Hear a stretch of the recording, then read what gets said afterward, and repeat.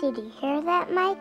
Mom says there's a germ called AIDS, and if you get sick from it, you probably won't get well.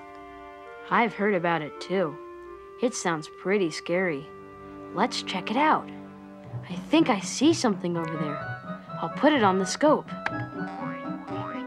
It looks like a bunch of germs gathered around a poster of an AIDS virus. It seems like all the germs in the area are very excited because if the AIDS virus is able to get inside somebody's body where the helper cells live, it could sneak up and trick the helper cell. Then, all kinds of germs can enter the body and do damage, lots of damage. Because the body's natural defenses are helpless to stop it, in time, the body becomes weaker and sicker. In time, most people die. That's too bad. What's too bad, honey? That people who get sick with AIDS usually don't get well. Yes, it's very sad.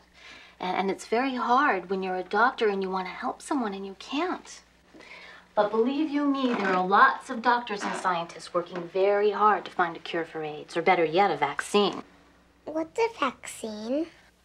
Well, it's something special that you put inside your body to help make your helper cells super strong so that certain germs never have a chance of making you sick. I hope they make a vaccine soon. I hope so too.